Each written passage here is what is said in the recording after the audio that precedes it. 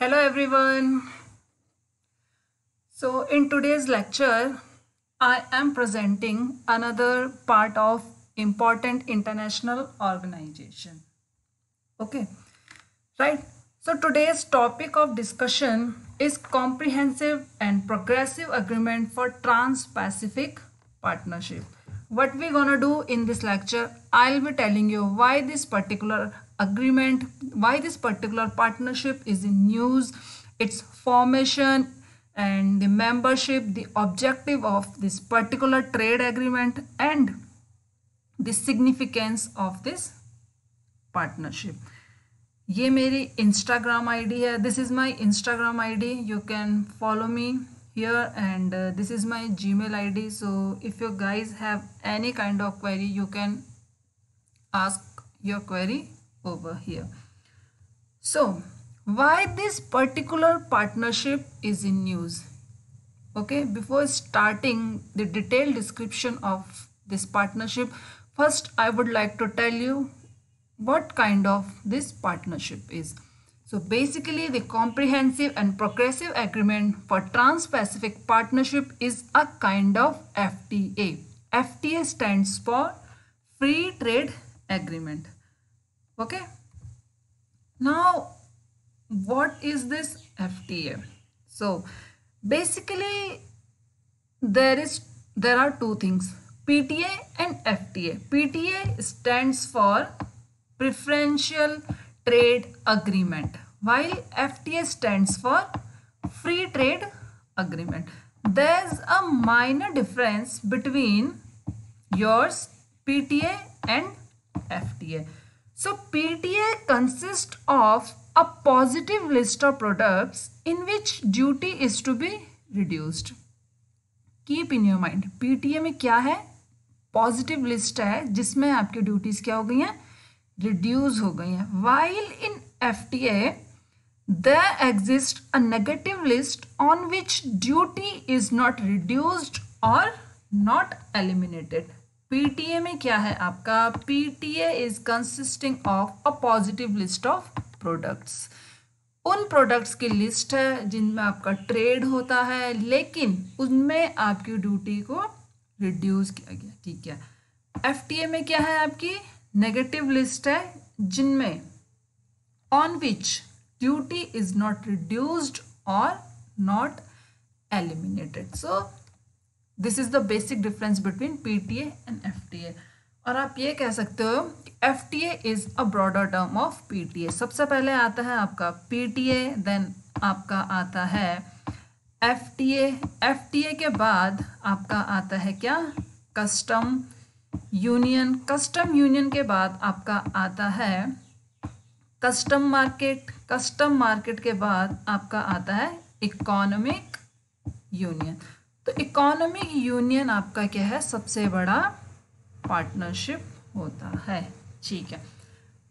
Now why this C P A T P P trade agreement is in news so this particular trade agreement is is in news just because of UK formally requested accession of the trade agreement UK ने क्या किया है? इस trade agreement को access करने के लिए formally request किया है। ये आप देख सकते हो यूके का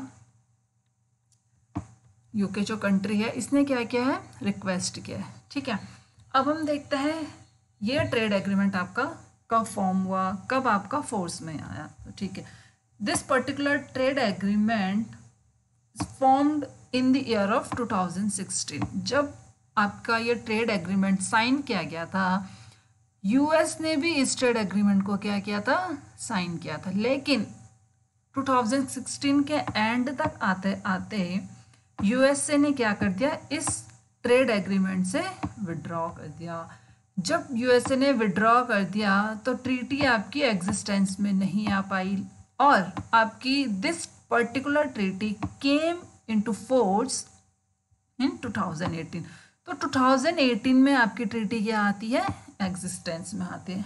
Now we will talk about the membership this trade agreement has signed between eleven countries eleven countries कौन कौन सी हैं? आप देख सकते हो, यह है आपका कनाडा यह है आपका मैक्सिको आपका पेरू ये आपका Chile then you have your New Zealand your Australia Malaysia Singapore Brunei then you have Vietnam and you have Japan basically, there are 11 countries that have signed this free trade agreement, ठीक है?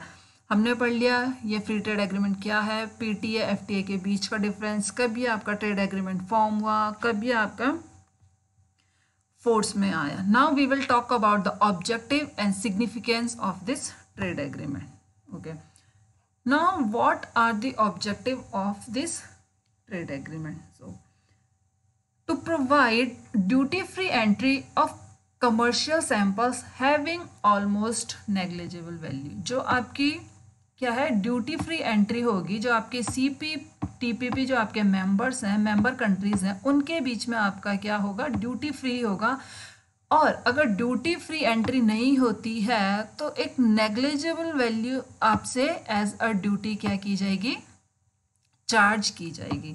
The another objective is to eliminate and eliminate tariff and reduce barriers for 98% percent of the exports among the C P T P P member countries जो आपके member countries हैं, उनके बीच में जो आपके tariffs हैं और जो बैरियर्स हैं, उनको कितने परसेंट एलिमिनेट कर देना? 98 परसेंट तक एलिमिनेट कर देना, ठीक है? टेक्निकल कॉरपोरेशन ठीक है? ऑब्जेक्टिव क्या है? To provide trade related technical corporation जो आपकी मेंबर कंट्रीज़ हैं, वो आपस में क्या कर सके? कॉरपोरेट कर सकें, एक दूसरे को टेक्निकली हेल्प कर सकें, जिससे क्या है? आपकी इकोनॉमी स्ट्रांग होगी, जो आपकी, आप medium and small and medium enterprises हैं वो क्या करेंगी? ग्रो करेंगी। जब वो ग्रो करेंगी तो फाइनली आपका जीडीपी ग्रो होगा। जीडीपी ग्रो होगा तो आपका क्या होगा? पर्टिकुलर कंट्री का क्या होता है? इकोनॉमिक डेवलपमेंट होता है। ठीक है? हाँ let me tell you one thing जो आपकी इलेवन कंट्रीज़ हैं, इस ट्रेड एग्रीमेंट में they contribute thirteen point four percent of world GDP तो वो वर्ल्ड जीडीपी में कितना कंट्रीब्यूट करती हैं? थर्टीन पॉइंट फोर परसेंट करता है and this is a huge amount ठीक है? अब देखते हैं हम इसका सिग्निफिकेंस सिग्निफिकेंस आपका क्या हो जाएगा? ऑब्वियसली है एक्सपोर्ट क्या होगा आपका? बूम होगा। एक्सपोर्ट में आपका क्या हो जाएगा? एनहेंसमेंट होगा। ट्रेड आपका कॉम्पिटिटिव होगा। किसी पर्टिकुलर कंट्री में क्या होगा? ट्रेड कॉम्पिटेटिव होगा। जब आपका ट्रेड कॉम्पिटिटिव हो जाता है तो इन्वेस्टमेंट ज़्यादा होती है। आपका क्या होता है? जॉब्स क्रिएशन भी होता है। इकोनॉमी आपकी क्या करती है? डेवलप करती है। जो आपके डोमेस्टिक इंडस्ट्रीज़ हैं, वो क्या करती हैं? टेक्नोलॉजी, इनो, टेक्नोलॉजी में एडवांसमेंट होता है इनोवेशन होता है, ठीक है। नाउ जो आपका C P T P P है, जो मेंबर्स हैं, उनमें ट्रेड रिलेटेड डिसीजंस कैसे लिए जाते हैं? तो there exist a commission of commission and this commission consist of ministers and higher officials from these eleven C P T P P member countries ठीक है? And what is the duty of this commission ठीक है, ये आपका क्या है? एक decision making body है इस ट्रेड एग्रीमेंट के लिए। This commission reviews the implementation of agreements and also provides research and development for further advancement in trade and investment between these CPTPP countries, ठीक है? सो हमने देख लिया कि क्या ट्रेड एग्रीमेंट होता है, क्या इसका ऑब्जेक्टिव है, क्या इसका सिग्निफिकेंस है, क्या सी पी कमीशन है, ठीक है? तो I hope you guys have liked this video and I want to request to all please do subscribe my YouTube channel please do like share and comment and या next lecture या I'll be providing another lecture for this series also and for the geography optional as well. Thank you so much guys